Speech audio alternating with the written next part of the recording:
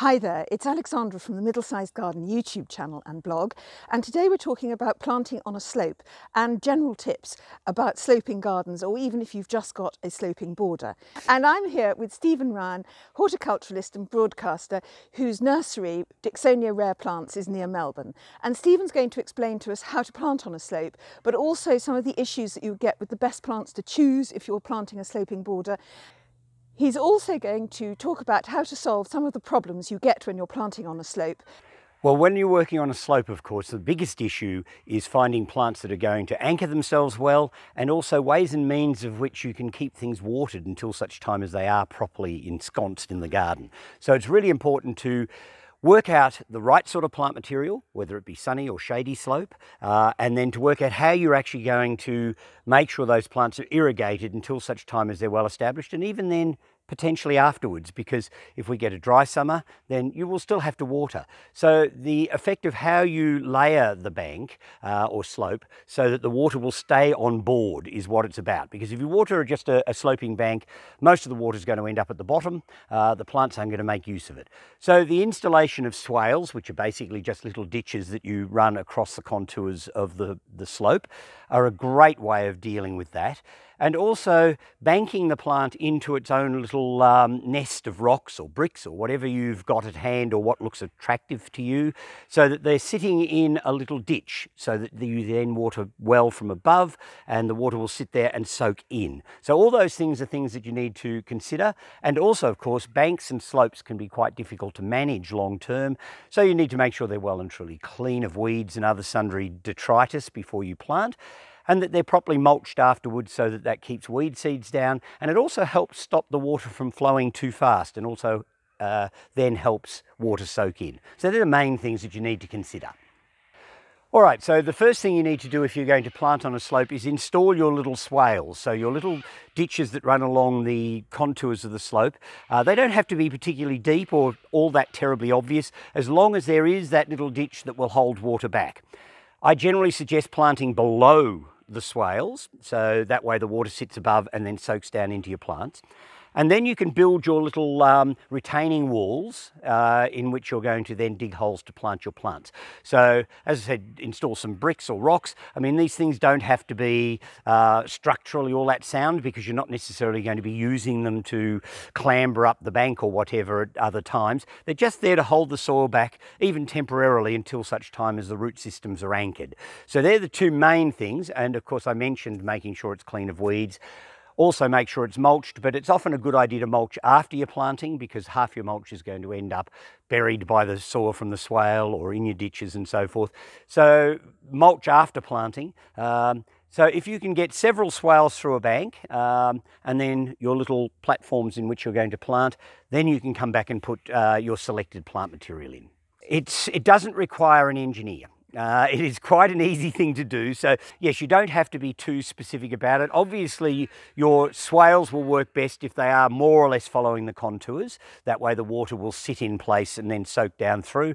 And yeah, you just need to find some things that are going to hold the soil back. Uh, most plants that you're going to put onto a sloping bank like that are going to billow out and become quite substantial because part of the point is to try and cover and green up a bank. So you don't want little sort of pencily things sticking up there. So big sort of swelling plants. So anything you've put in there to hold things back in, and including your swales are all going to disappear amongst the plant material as time goes on. And then you'll just end up with this wonderful bank of foliage and flowers. So what about specific plant recommendations? What goes well in a slope? And I have heard that you need a deep-rooted plant. Is that true? Well, I don't actually believe you need plants that are particularly deep rooted. I mean, it won't matter uh, if they are, but I actually think plants that have a really good matty root system that is in fact going to bind the soil together on the surface uh, are actually more important. And in fact, if they're plants that can root as they hit the ground, even better, because that way it will hold the whole slope or bank together. So something that has uh, a layering habit that will work its way down or up the bank and root down as it goes so that you actually end up with a whole series of plants in a sense, uh, and that will bind everything together because long-term binding of a slope or bank is really important, and also a thick canopy of foliage plants so that it actually helps to suppress weeds. Because the last thing you need to do as we get a little older is clamber up these banks trying to manage a weed issue. So the thicker you can get your plants to grow, the less problem you're going to have with managing the bank. So it then becomes as hopefully management free as possible. All right, if I was going to plant, uh, you have to look at whether you're planting a sunny bank or a shady bank. So let's start with a shady position first. And a shady spot is often also comparatively dry because it's often shady because of trees overhanging, so therefore there's tree roots involved and other things as well. So they can actually be quite difficult banks to cover. Uh, you can obviously fall back on the old uh, stalwarts like ivy and such things if, if that's an appropriate plant for your area. Um, but there's lots of other plants that will grow very, very well on a shady bank. And I would look at things like the smaller growing vincas. Uh, I would look at ruscus, which is a wonderful plant from uh, the Mediterranean Mediterranean that will grow in It'd almost grow in a cupboard. It's so hardy. It will grow in dense, dense shade. It will grow in root infested shade and it will also grow where there's almost no moisture. So things like ruscus and its relatives. There's another thing called Danae, which is a wonderful clumping plant that covers banks really well. So there are quite a number of interesting plants. Now, conversely, if I was working in a sunny spot, then you need to have a whole different palette of plant material. In warm and temperate climates, the first thing I would fall back on potentially for those sort of sites are some some of the spreading succulent species. They're fantastic. I mean, they don't need to be watered. They'll cope with 40 degrees and a howling northwesterly wind, or at least in Australia, it'd be a northwesterly wind that would be the worst one. Uh, and um, you know, you can have lots of flowers and lots of textural foliages, uh, and they become very self-managing as time goes on. But there are also lots of shrubby plants that, uh, uh, particularly of Mediterranean origin, some of the dwarf cytisuses, the brooms, some of the cistuses are wonderful, the, the spreading rosemaries are fantastic. There's a whole range of plants like that that have a good matty root system and will cover the ground and grow dense enough to be weed suppressing, because the other thing people forget is if they put in a ground cover and it's very close to the ground, it actually still lets quite a lot of light through. So therefore, very flat ground covers tend not to be particularly weed suppressant.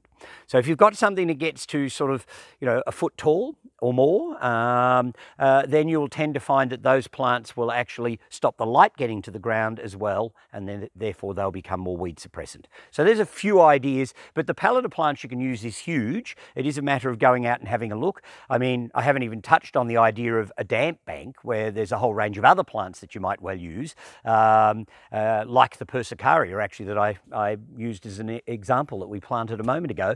Uh, it's fantastic uh, as a bank cover in a moist aspect that gets reasonable sun. So you've got to look at all those things.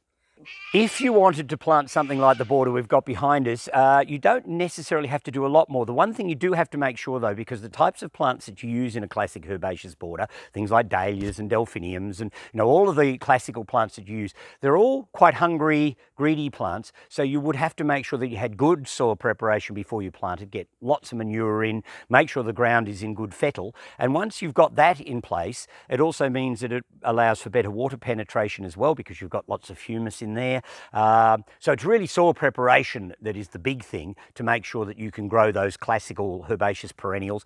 And then there's no reason why you can't do it. I guess the only other thing you have to consider is that when you're working on a slope like that, if you've got a flat herbaceous border, you tend to plant things that grow to certain heights at the back and tiering down towards the front. You've got to be a bit more careful how you tee your plants on a slope because you can end up with your very tall things right at the top of the border, uh, towering over things by, by many feet uh, and looking slightly disproportionate. So you have to be a little more careful about how you place the plants from the uh, respect to their heights. But otherwise, there's no reason why you can't do it. All right, well, mulching on a slope, uh, you need a material that's reasonably porous. Uh, so you don't want something that's too fine. If aesthetics aren't that much of a problem. I actually find things like straws and hay and uh, uh, loosened straw, all those sort of things, is a very good mulch on a slope because they tend to mat so that they make this nice bindy mat that holds in place. They also allow water penetration reasonably well, so they're not so dense that they become this sort of matty thing. If you use something at the other extreme, say for instance, like you had sawdust available to you and you use that as a, as a mulch, the issue with sawdust is that you're going to end up with a crust on the top and the water's just going to run off. So the mulching material you use needs to be open and, and, and lighter, but something that's going to bind together. Uh, really coarse um, tree shreddings might work quite well, but I would say the hays and straws are ideal as long as the aesthetics of that slightly rural look doesn't worry you. Homemade garden compost is fantastic to put onto a bed, but I still think you need an other mulch over the top of it. And I'd do the same if I was using some animal manures. I mean, if you use horse manure on a garden bed, you tend to find that there's often weed seed in that unless they're stabled horses. Uh, and so therefore you need to put something over the top again to keep the weeding down. But yeah, home compost is always a great material to use, but you need to keep in mind that you may be reintroducing the forget-me-nots you thought you'd taken out. So, you know, they're the sort of things you have to consider. If you enjoyed that, please do hit like because then I'll know you'd like to hear more about planting in difficult situations. And if you'd like more tips, ideas, and inspiration for your middle sized garden, then subscribe to the Middle Sized Garden YouTube channel. And thank you for watching. Goodbye.